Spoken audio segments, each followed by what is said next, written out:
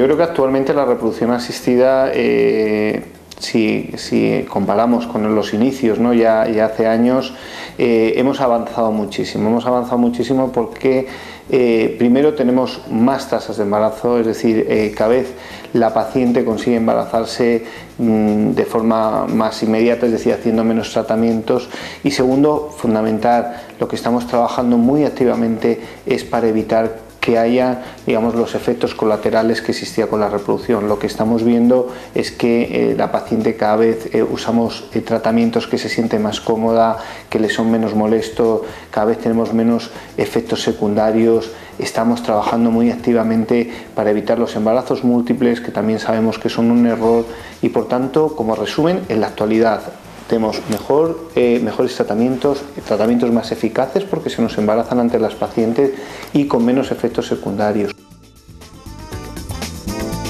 Dos de las eh, complicaciones más importantes que tenemos cuando trabajamos en reproducción es, por un lado, lo que se llama la hiperestimulación ovárica y es que hay pacientes que después del tratamiento se encuentran hinchadas, eh, bueno, eh, se encuentran molestas y esto tenemos que evitarlo lo máximo. Estamos, trabajamos muy activamente para que esto ocurra cada vez menos. Trabajamos activamente, eh, primero haciendo cada vez estimulaciones más suaves, segundo investigando en fármacos que ya estamos utilizando en muchas pacientes cuando observamos que puede haber este riesgo, bueno, pues darle estos fármacos para que no ocurra la hiperestimulación y por último, eh, bueno, pues eh, cambiando ciertas pautas de tratamiento, incluso incorporando todo el tema de congelación de ovocitos con los nuevos tratamientos, los nuevos métodos de vitrificación que vemos que cada vez son más eficaces.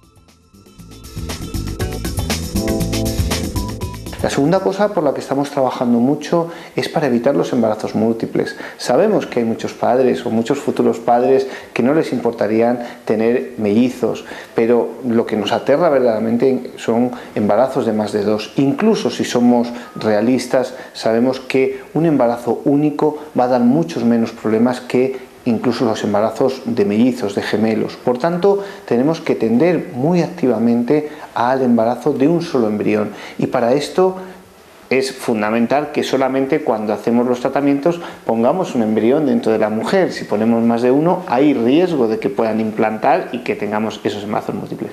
¿Y qué estamos haciendo? Porque el problema es que si solo ponemos uno, tenemos que intentar que sea uno que nos dé bastantes garantías que pueda ir adelante, ¿no? que pueda implantar, que pueda dar un, embarazo, un niño a término. Entonces, lo que estamos es desarrollando cada vez más técnicas. En IBI trabajamos de forma activa en, estos, en, en estas investigaciones investigaciones para, de una forma muy poco invasiva al embrión, es decir, que le molestemos muy poquito al embrión antes de ponerlo dentro de la mamá, intentar ver cómo se comporta ese embrión, qué mm, materiales va comiendo del medio, qué materiales va desechando y un poco viendo cómo se comporta durante estos primeros días que está empezando la vida, bueno, pues poder saber qué embrión va a tener capacidad para llegar al final y cuál pues a lo mejor porque tiene alguna anomalía cromosómica o tiene algún problema no va a ir adelante. Son yo creo uno de nuestros retos para el futuro.